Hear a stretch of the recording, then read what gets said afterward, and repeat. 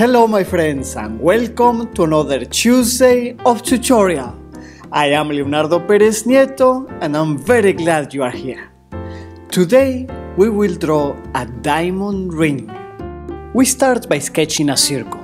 The way I do this is making many circles trying to correct the path as I go. Then go over the line that you see correct.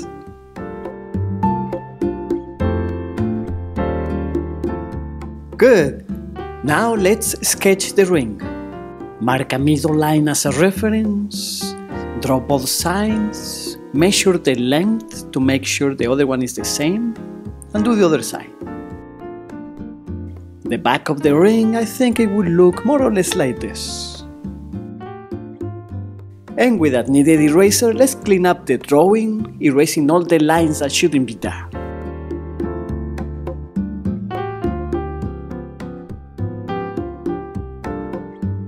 Good, let's do the things that hold the diamond. And then the cuts of it. They may vary a lot. We will start with two squares, then some triangles around them, and a series of triangles going to a center point. This is really fun. You can create your own design here.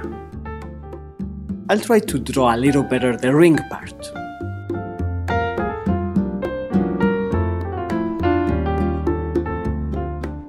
Using the kneaded eraser, I lighten the pencil marks a little bit because they may be on our way when putting the color.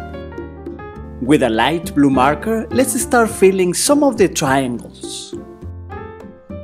This is so fun!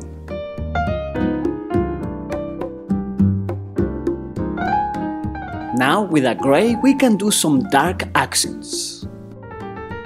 And others with a dark blue.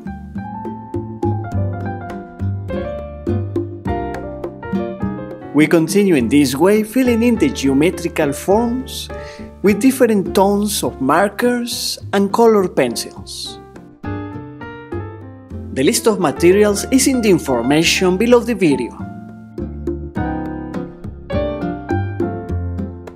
It is starting to look nice.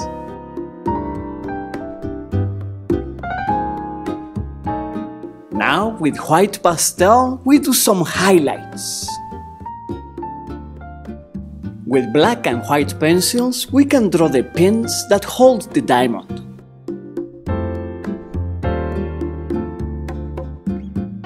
With grey markers of different tones, we can do the reflections on the actual ring. And then with white, give it some highlights.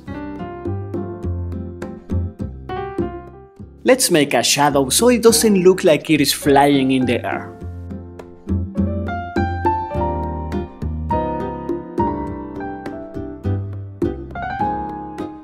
I will darken slightly outside the center square and lighten inside the square to give it more contrast.